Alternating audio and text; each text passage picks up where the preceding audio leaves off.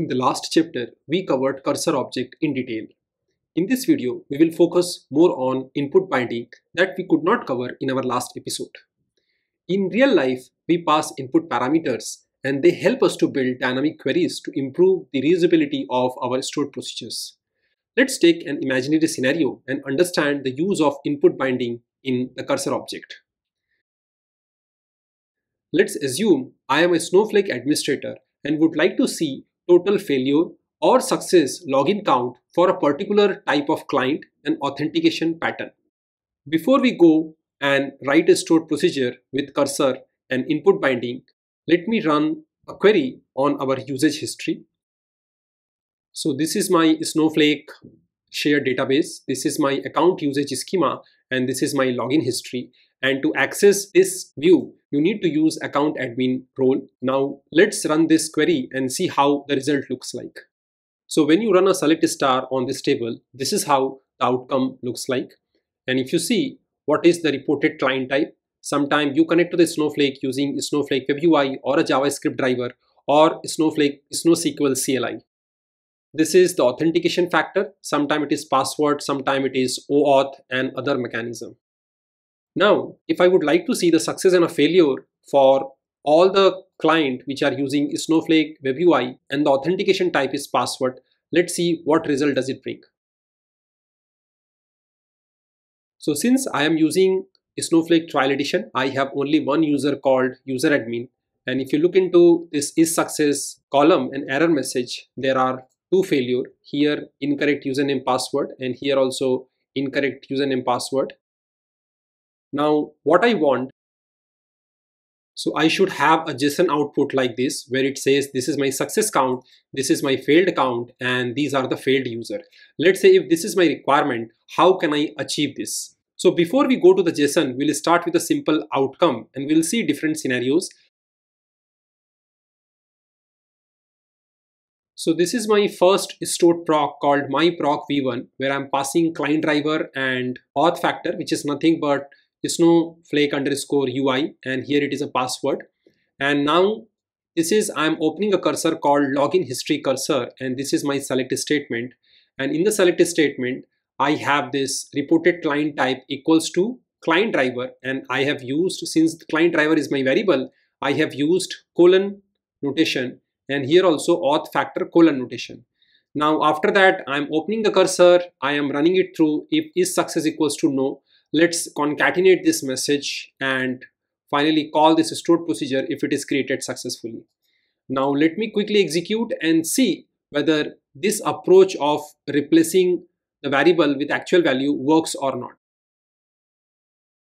So my stored proc got created successfully. Now I am passing this two parameter and let's see So it says statement error on line 3 at position 4, SQL compilation error, client driver not set. So this approach of putting the variable value to create a dynamic SQL doesn't work with cursor. Now this is my second approach where I am creating a stored proc call, stored proc call v underscore 2. And if you look here on the line number 52, I am creating a SQL statement dynamically by passing the client driver and auth factor values. Here I can also use different approach and finally this SQL statement is being fed while creating the cursor object. Let's see whether this approach works or not. So this approach also doesn't work because when you create a cursor using a for keyword, either you have to give the SQL statement or you have to give a result set. What we have seen in the past episode. So approach 2 also did not help me to achieve the goal.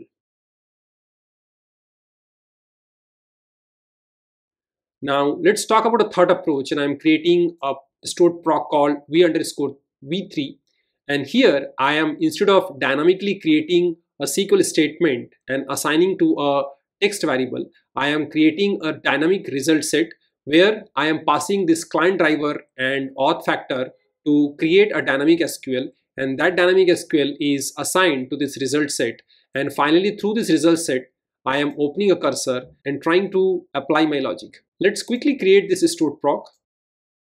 So this got created and I'm calling this stored proc and let's see what result does it bring. So I managed to get this very simple output, which is nothing but concatenation of username followed by the error message. And this is giving me the result which I wanted. So if you are passing an input parameter and trying to create a dynamic SQL and then want to run the dynamic SQL through the cursor, this is one way. Now we are going to use a very different approach called binding.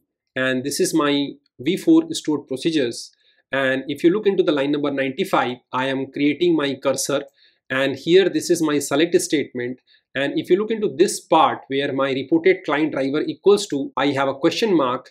And then I have a first authentication factor is also equals to question mark. So this syntax indicate to Snowflake that I need to bind this question mark with actual value. And where you have to bind it when you are opening a cursor. So when you open a cursor, you need to use a keyword called using and here you can pass those input parameter one after another.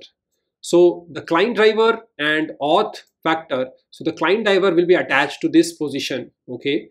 And auth factor will be attached to this position, okay? So this is primarily a positional match which we try to do and assign the values of a variable when executing the query. Now, one interesting thing, though they are all text input parameter, I don't need to put a single quote around my question mark, Snowflake takes care of these things automatically. Now, once my cursor is created, I can really loop through and I can use the dot notation to check if the error message is yes or no. If the success is no, then simply concatenate my error message and return the error message. Let's create this stored proc so it got created. Now let's quickly execute this. So I got the same result where two entries which had unsuccessful login is registered here. So we have gone through this simple example, but what if I have to generate a JSON? So this is my stored proc v5 taking the same input driver and auth factor. Here my return type is variant in place of text.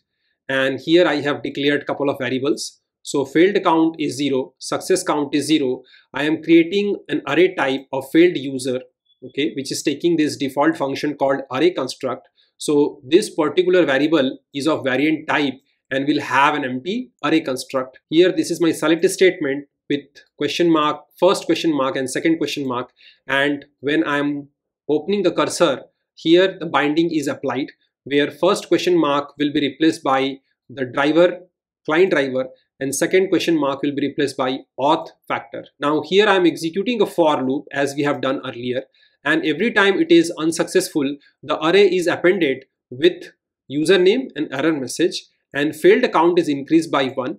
If it is successful the success count is increased by 1 and when I return since here if you see this part of the syntax here I am using the object construct function and passing failed count, success count and failed user and all those things will appear as a JSON object. Now let me execute this and show you the outcome. So my v5 got created. Now let me call this v5. So this is my result and that's what I was expecting. So whenever we are going to create a dynamic query via cursor or result set, make sure that you follow this input binding approach as a best practice rather than using a lot of concatenation approach because the binding is directly supported through the cursor or you can alternatively use result set. Now let's go back to our query history and see how does it look like. If I come to my query history, this is the call for my stored proc and if I hover the query execution, it is having a question mark and this question mark is replaced dynamically and you would not be able to see the value. So we have understood what is the importance of this question mark sign and how we can really do the binding using using keyword while opening the cursor. I hope you got something valuable from this video. If you did, please hit the like button. Your support not only recognizes the work behind this free content but also helps other to discover this playlist. And if you think it can help someone else in your team, feel free to share. Thanks for watching and let's spread the knowledge and growth together.